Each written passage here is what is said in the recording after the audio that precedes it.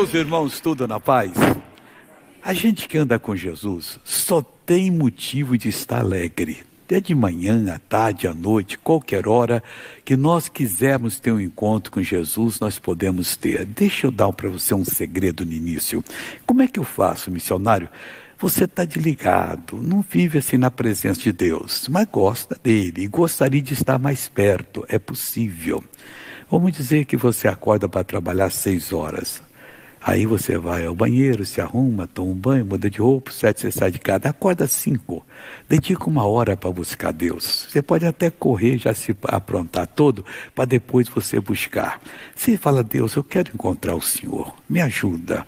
Aí você aprende um desses louvores que nós entoamos aqui e entoe para Deus. Pega a Bíblia e leia uma parte do Salmo, dos Evangelhos, mas leia devagar. Não leia muito correndo, não. E não lê bastante, não. Três, quatro, cinco versículos é o bastante. Mas lê meditando, comendo aquilo ali. Depois você começa orando sobre aquilo que Deus falou. Mas Deus, eu não tenho jeito, eu não consigo fazer o que o Senhor diz aqui. Eu queria fazer, me ajuda. Deus está só preparando você. Ele vai lhe esforçando, esforçando e vai ver realmente se você quer. Aí à noite você faz a mesma coisa. De manhã você faz. Em poucos dias você já está vendo uma grande melhora em você você, porque a mudança tem que estar aqui dentro. Pessoa tem um problema na família. Ah, eu tenho um filho, uma filha que é rebelde, aquele é ovelha negra, é a vergonha de casa, porque você está deixando.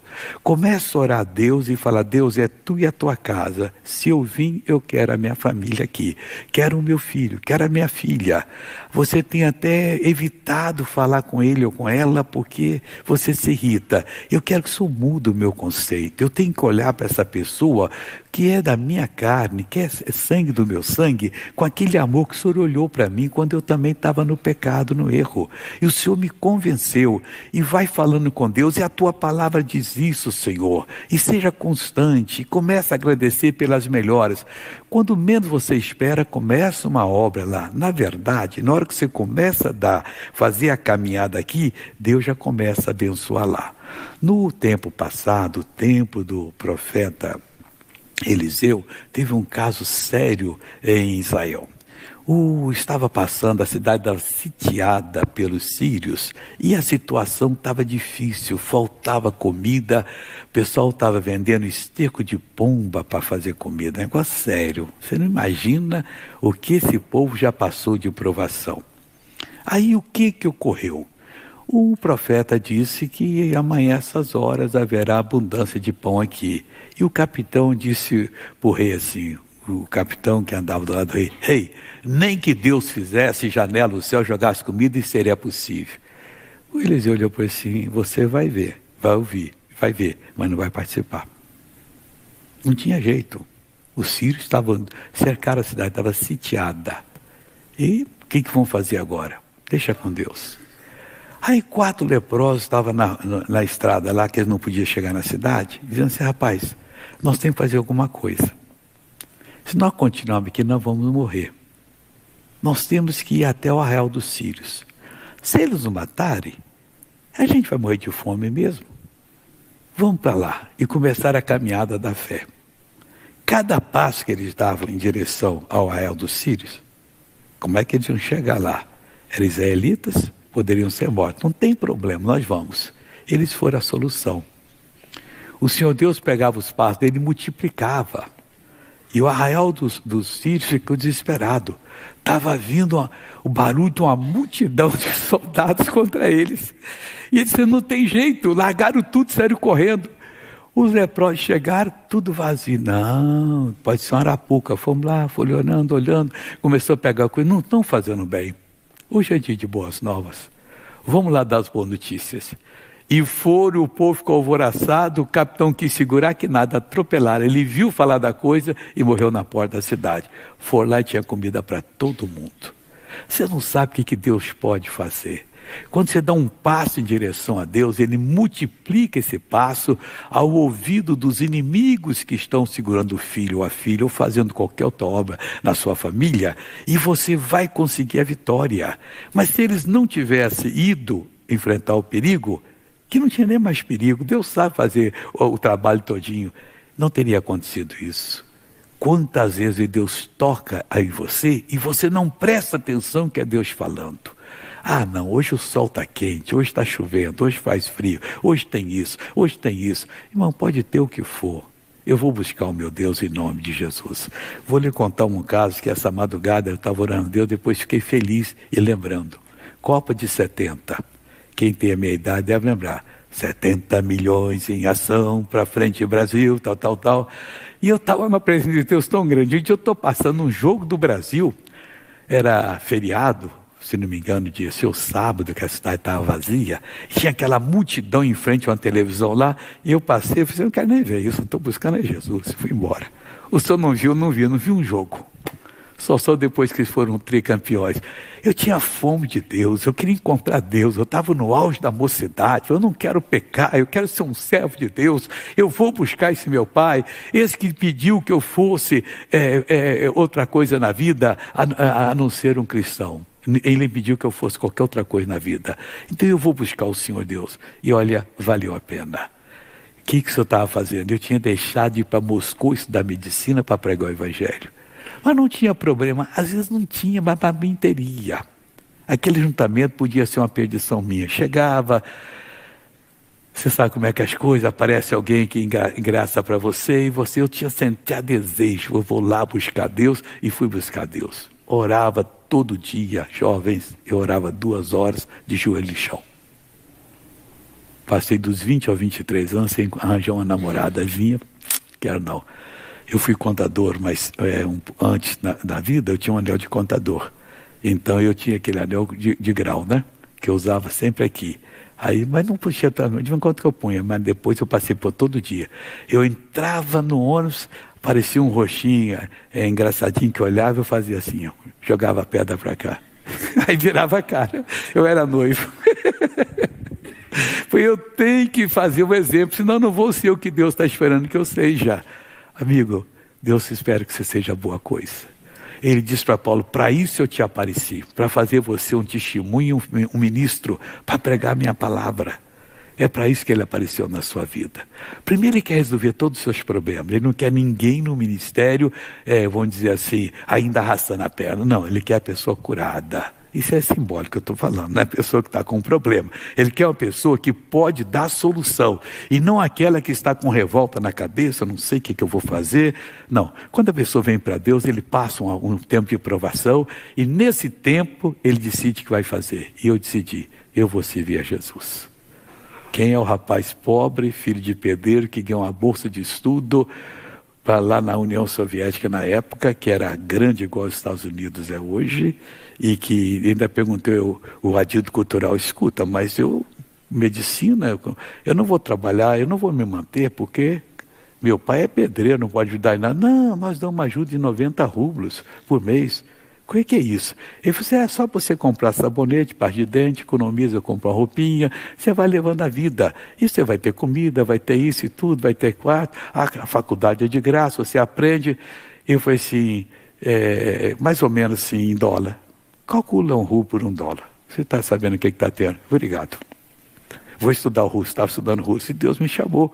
Aí eu deixei, falei, não posso, que eu já sabia que eu era chamado. A verdade é, desde menino que eu sabia. Primeira vez que eu vi o Evangelho, eu já aprendi. Aprendi a ler a Bíblia, dar um testemunho bonito para vocês aqui agora. Aprendi a ler, ler, eu fui aprender a ler aos sete anos. Lá para os nove, dez, eu li Daniel, capítulo 12, versículo 3. Eu falei, rapaz, o negócio é ser servo de Deus. E antes eu pregar, eu já ganhava alma, irmão. Daniel, capítulo 12, versículo 3. Os sábios, pois, resplandecerão como o resplendor do firmamento. Eu falei, é, meu futuro vai ser lindo. Eu estou me tornando sábio com Deus, eu vou resplandecer como o resplendor do firmamento. O seu vai ser lindo, minha irmãzinha. Segura aí que Deus tem coisa boa para você. E meu irmãozinho também. Segura aí. E diz mais assim: E os que a muitos ensinam a, a justiça, refugirão como as estrelas, sempre eternamente. Foi Deus, obrigado. Vou fazer isso. Sempre eu pregava mesmo, sempre. Estava no ônibus, estava dando folheto, fazia questão de ir para aqui para ali, e Deus aí foi abençoando. E continuo buscando a Deus. Eu falei, Deus, eu não tenho nada. Eu quero fazer mais para ti. O que, que eu tenho feito? Me usa. E Deus usa. E vai usar muito mais. E você pode ser usado também. Amém? Cada dia eu estou dando um pedacinho da viagem missionária de Paulo. Aqui está em resumo, foram anos, Paulo aqui já está se sentindo velho e já estava despedindo de algumas pessoas. No culto anterior, eu comecei em Atos 20, versículo 17, que ele estava em Mileto, mandou chamar os anciãos de Éfeso e eles foram lá. E Paulo então chegou para eles e disse que Deixa eu ler para você, versículo 18. E logo chegaram junto dele, disse: Vós bem sabeis, desde o primeiro dia que entrei na Ásia, como em todo o tempo me portei no meio de vós. É muito lindo quando o homem de Deus pode falar essa palavra. Vocês sabem como é que eu me portei aqui. E aí ele explica: servindo ao Senhor com toda humildade e com muitas lágrimas. É assim que se serve a Deus, com humildade e com muitas lágrimas. Se Deus lhe usar para curar alguém, não queira tomar a glória dele. Ele diz: Eu sou o Senhor, este é o meu nome, Senhor. A minha glória, pois, a outro não darei, nem o meu louvor às imagens esculturas. Então, você seja uma pessoa que serve a Deus com humildade e com muitas lágrimas. Oração até você vencer a si mesmo.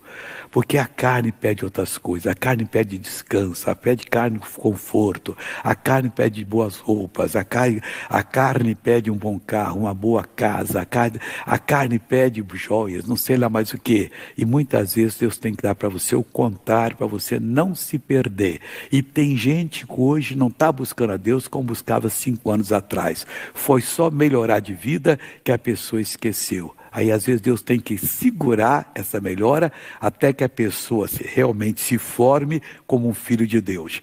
E diz aqui, e que pelas, é, com muita lágrima e tentações, não é que ele era tentado a fazer coisa errada não, ele explica, e tentações que pelas ciladas dos judeus me sobrevieram. Em toda cidade que ele entrava, eles planejavam acabar com ele.